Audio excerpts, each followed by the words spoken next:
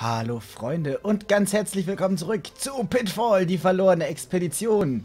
Das Spiel mit der dümmsten Speicherfunktion, die ich kenne, weswegen ich das hier alles gerade nochmal machen musste. Ich hab's ja schon mal erklärt, wie die Speicherfunktion ungefähr funktioniert. Von wegen, äh, wenn ich jetzt das neue Gebiet betrete, dann... Moment. Warten wir auf den Ladebildschirm ist das hier jetzt der Speicherpunkt. Das heißt, alles, was ich jetzt in diesem Gebiet mache, wird nicht gespeichert, wenn ich in diesem Gebiet speichere. Es wird erst gespeichert, wenn ich das Gebiet verlasse. Und dann speichere. Oh, das ist wirklich eine Schlittenfahrt. Wow. Oh, oh, wie cool. Da erinnere ich mich zum Beispiel auch gar nicht mehr dran. Ich schätze mal, wir dürfen hier nirgends ranstoßen. Ach, das ist doch kein Eigengeborder. Was macht der hier auf der Piste? Hast du nicht das Schild gesehen? Nur Schlittenfahrer... Aua. Nur Schlittenfahrer erlaubt. Wusch. Alter! Ah! Hey, wie hätte ich dem bitte ausweichen sollen? Oh Gott, wir werden sterben, gell? Oder? Ich glaube, wir werden... Ah! Und er ward nie wieder gesehen. Natürlich werden wir sterben. Äh, ich werde mich mal ganz kurz etwas auffrischen. Und dann Versuch Nummer dos. Hui!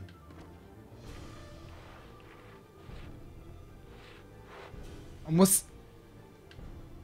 Ähm...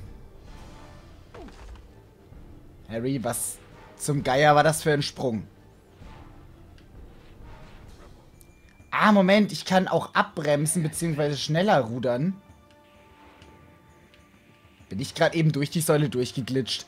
Naja, ich äh, nehme es mal so hin. Ich habe ja keinen Schaden davon getragen, beziehungsweise ja, doch. Hui, Alter! Hä, hey, wie soll ich da ohne Schaden zu kriegen durch? Ich begreif's nicht. Oh Gott! Ah, wie soll das funktionieren? Ich habe keine Ahnung, wie das funktionieren soll. Darf ich bitte, äh... Warum habe ich jetzt kein... Warum kann ich jetzt die Flasche nicht auswählen? Okay. Das ist seltsam. well. Ich wüsste echt gern, wie wir an diesem komischen Tor da vorbeikommen sollen, gell? Der liegt hier immer noch rum. Geh mal aus dem Weg.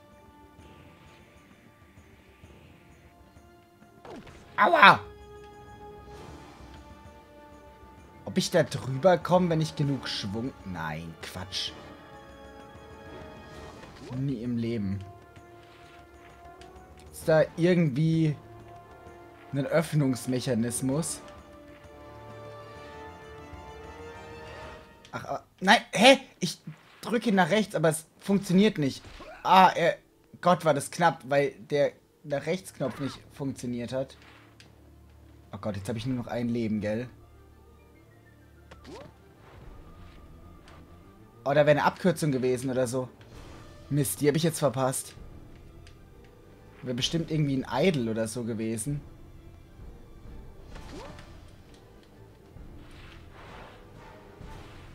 Oh, hab, hab ich's geschafft? Nein! Ah, okay. Ich glaube, das war aber Absicht. Ich glaube, da sollten wir es nicht ganz rüber schaffen. Oh Gott, meine Nerven. Wo sind wir denn jetzt? Zum Apu Ilapu Schrein. Ich brauche erstmal... Ah, Moment. Hier ist auch ein Schalter drin, den ich natürlich gesehen habe. Komm, füllen wir noch schnell unsere Flasche restlich auf. Oh Gott, das war jetzt schon wieder zu viel für meine Nerven, die Schlittenfahrt. Ich hätte echt gern die... Beziehungsweise ich guck mal auf die Karte, ob das eine Abkürzung ist oder ob es hier noch einen anderen Weg gibt. Nee, Mountain Sled Run hat nur einen Weg. Das heißt, da gibt es wahrscheinlich wirklich irgendwie einen Götzen oder so. Ja, schauen wir erstmal, was hier im Schrein auf uns wartet. Wahrscheinlich wieder irgendeine Tierverwandlung. Nee. Silvesterböller. Auch im Urwald wird Neujahr gefeiert.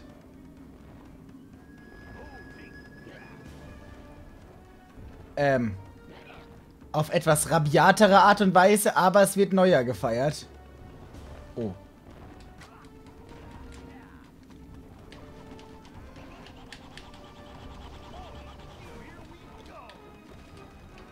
Durch dieses Wirbeln äh, zeigen wir den Eingeborenen übrigens, dass wir dazugehören. Wir zeigen ihnen dadurch unsere Mitgliedschaft.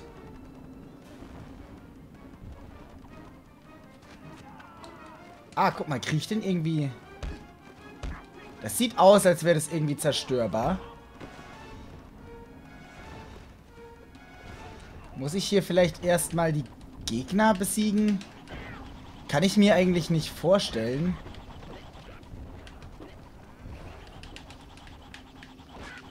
Aber ich probiere es mal. Nein! Ah! Dizzy! Also da oben steht auf jeden Fall einer und böllert schön mit seinem Dynamit durch die Gegend. Der hat auch Spaß, würde ich sagen. Aber ich komme da ja auch... Nee, da gibt es kein Hochkommen. Ich habe auch nix, womit man das, nein, irgendwie kaputt machen könnte. Ich kann mir nur vorstellen, dass wir die Gegner hier ein bisschen äh, aus dem Takt bringen. Beyblade, Beyblade, let it rip. Ach Gott, da kommen ja immer mehr. Ich glaube, wir sollen die Gegner doch nicht aus dem Rhythmus bringen. Ich glaube, die respawnen.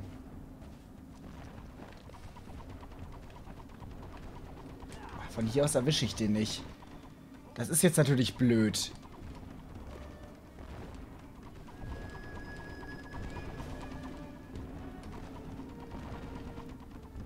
Erwische ich den von hier?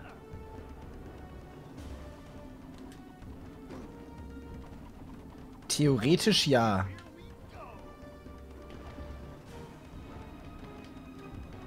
Wenn ich zielen könnte. Okay, von hier unten erwische ich den auch. Das ist gut. Ach, der nimmt keinen Schaden. Nee, den können wir nicht treffen. Witzig.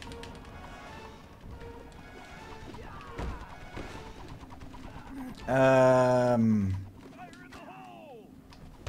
Ja, Fire in the Hole.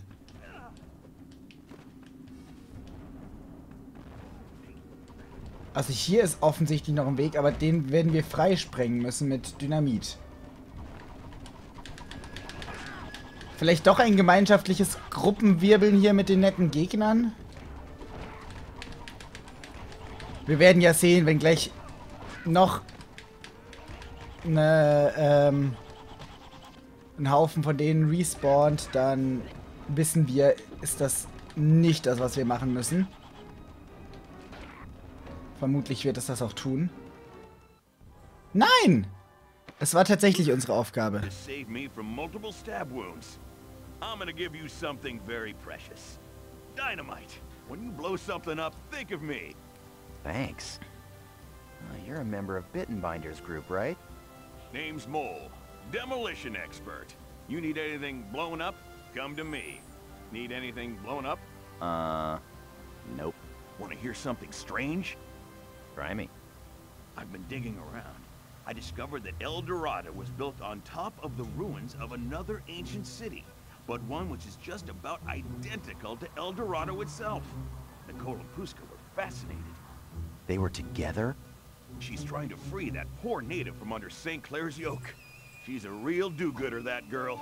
If you see her, tell her I say hi.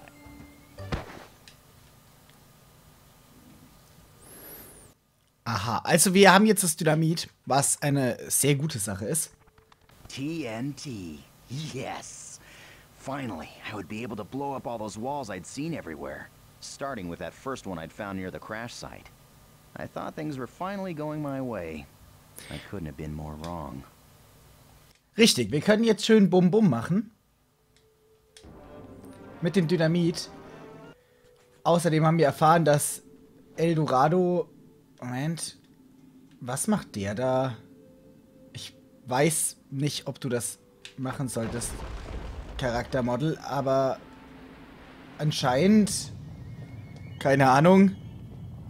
Außerdem haben wir erfahren, dass Eldorado auf dem Moment ich dachte, das ist ein Tauchweg. Es war ein Geysir. Auf den Ruinen einer anderen Stadt aufgebaut ist, die genauso aussah wie Eldorado. Was auch immer Eldorado mit der ganzen Sache hier zu tun hat.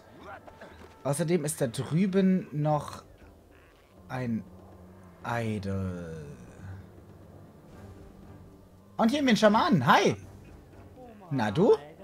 Können wir bei dir was einkaufen? Sicherlich können wir bei dir was einkaufen. Wir haben bestimmt richtig viele angesammelt. Elf Stück, ja. Äh, Canteen Max, Extra Health, Jungle Note, Mountain Notes. Ich schätze, da wir jetzt wieder in den Urwald gehen, nehme ich mal Jungle Notes mit. Also Hinweise für das Herz des Dschungels. Dann bomben wir mal ganz kurz Aua! Den Weg hier frei, wollte ich sagen. Hallo, ich möchte hier nur ein bisschen rumsprengen. Äh. Bumm. Ciao. So, wo bringst du uns hin? Flop. Oder bringt es uns jetzt quasi wieder zu... Das kann ich mir... Nein, das kann ich mir nicht vorstellen, dass es uns wieder zurückbringt. Sonst wäre das nicht so demonstrativ da... Doch, es bringt uns hierhin zurück. Okay. Ähm, ich bin jetzt gerade etwas überfragt, was jetzt der beste Weg zurück ist. Äh hier? Nee, hier wollen wir nicht sein. Hier rennen wir ganz schnell durch. Ich guck mal gleich auf die Karte, wo wir noch überall äh, Dynamit einsetzen können. Und dann gehen wir strategisch äh, jeden sprengbaren Ort durch. Hier im Valley of the Spirit können wir auf jeden Fall irgendwo was sprengen. Da erinnere ich mich zum Beispiel gar nicht mehr dran.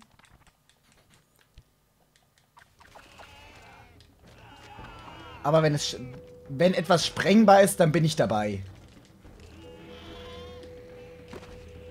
Ah, doch, ich erinnere mich. Aber zuerst muss ich mich um dich hier kümmern. Ciao. Ist eigentlich voll gemein. Das sind ja auch nur Mütter, die auf ihre Eier aufpassen. Aber wer mich angreift, der muss mit den Konsequenzen leben. Wie du mir, so ich dir, ne? So, das war ja auch nur Ekeko Eishöhle. Okay, euch kann ich runtersprengen, das habe ich gesehen.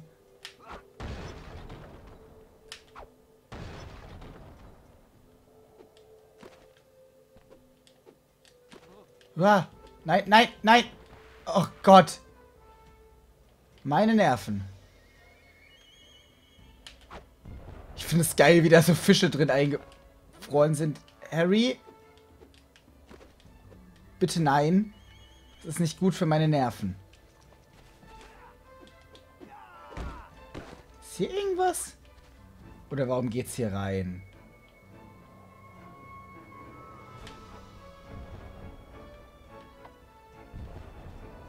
Anscheinend ja nicht. Nein! Oder so als Safe-Zwischenstopp vielleicht. Da rechts sehe ich auf jeden Fall einen Götzen.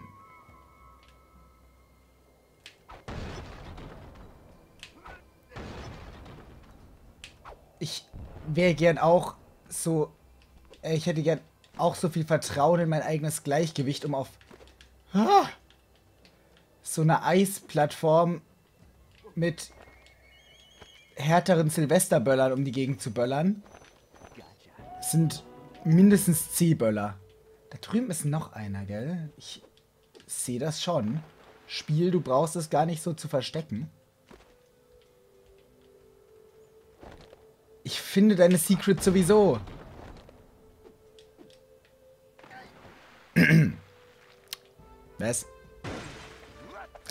Das war, ähm, Absicht. Mir fällt kein Grund ein, warum man sowas aus Absicht tun sollte. Aber es war Absicht. So, wunderbar. Nächster. Mensch, das geht doch hier aber wie am Schnürchen.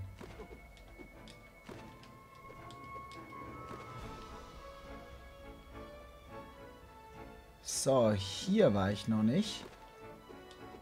Schauen wir mal. Ah, nein. Oh Gott.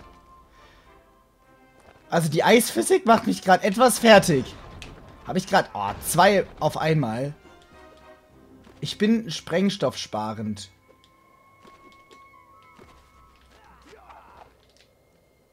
Wo führst du uns hin?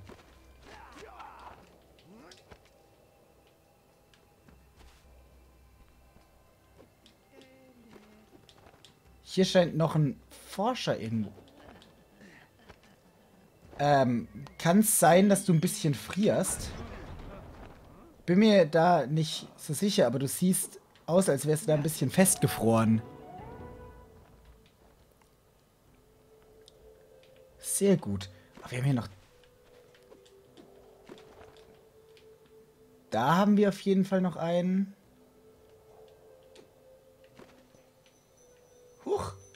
Kamera? Danke, Kamera.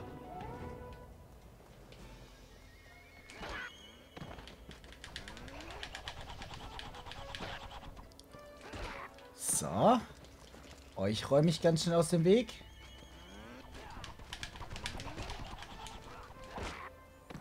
Ihr seid ja überhaupt kein Problem mehr für mich. Seit ich weiß, wie wir mit euch um... Alter! Wie viele Götzen sind hier denn? Ähm, also Idols. Also sie, glaube ich. Ich weiß es nicht mehr. Da kommt man so schnell durcheinander. Bei den vielen Spielen. Oh, jetzt muss ich gerade echt aufpassen. Moment. da bin ich etwas lower gedroppt, als ich wollte.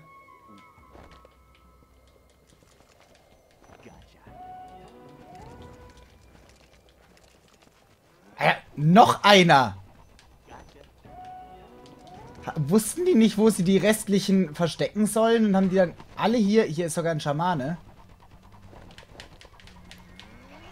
Das heißt, wir können das was wir hier finden, gleich wieder ausgeben. Upsa, den wollte ich noch gar nicht aufwecken. Äh.